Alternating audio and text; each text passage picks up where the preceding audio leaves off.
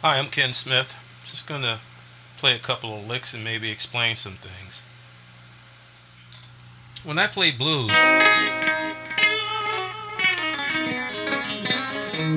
I'm trying to make my guitar sing as much as possible.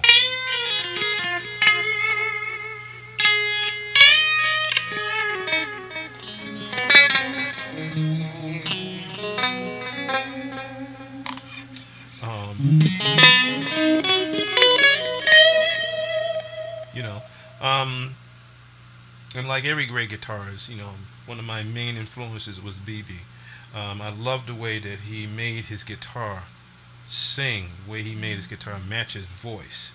Um, I loved everything about BB. I loved the way he held the guitar, you know, the way he played it, you know, the way he sung with it, everything about BB. So I picked up a lot from uh, from uh, Mr. King.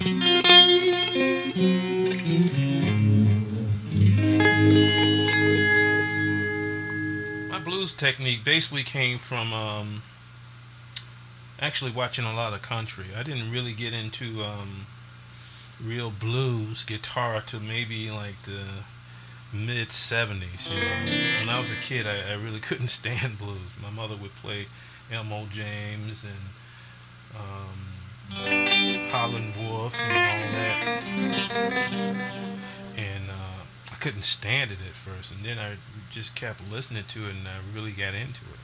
But uh, early on, there was a show called Hee Haw, you know, and all the great pickers ended up on, on that show. So that's pretty much.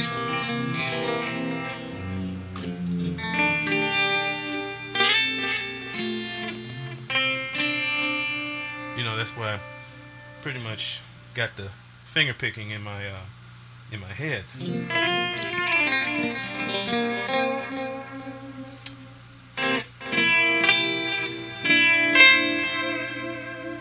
And then, you know,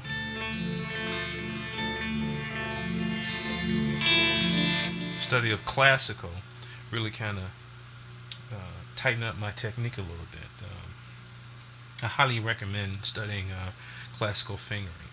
Um, guitars or basses, it, it, it, uh, uh, it increase your technique uh, immensely. You know.